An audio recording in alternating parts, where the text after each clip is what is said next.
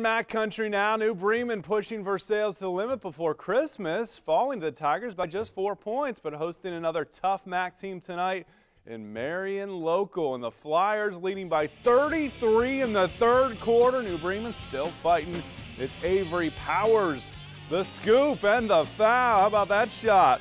But back comes Nathan Bruns, the quarterback for the state championship football team, puts it in. He had 14. And some great passing to Tyler Mesher. Ends the third quarter. Mesher with a big night again. Fourth quarter, New Bremen still firing on all cylinders. Grant Haney hits the high three, but too much from the local boys. Matt Rethman to Mesher.